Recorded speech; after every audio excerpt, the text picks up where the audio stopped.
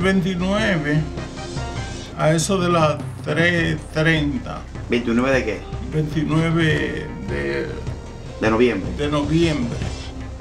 Yo iba en la Fran Grullón, casi con Sánchez.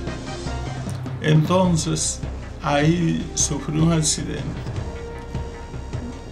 Yo no, yo no vi ni siquiera de dónde venía el vehículo, de tan rápido que venía. Yo solo desperté en el 911.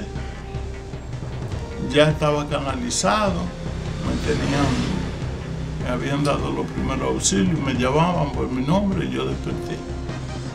Cuando le hablé, entonces me dijeron que había tenido un accidente. Yo dije, ¿qué pasó? ¿Tuviste un accidente así de profe, profe? Entonces me preguntaron dónde me llevaban.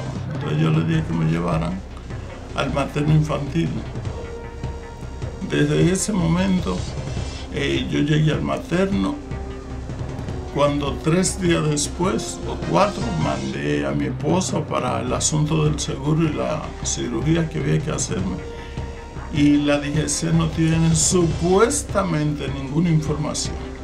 Ayer yo estuve en el entorno, porque yo duré unos 10 días que me, eh, la cabeza, mareo, vomitando, es, en cirugía, etcétera, etcétera.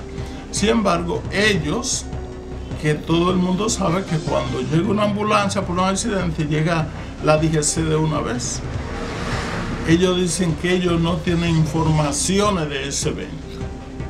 Que ellos no tienen informaciones. Eso es ilógico, irracional. Yo fui allá, por lo que vi ellos no querían. No, primero no, No me- tienen interés. No, no, se le- evidentemente no se le ve interés.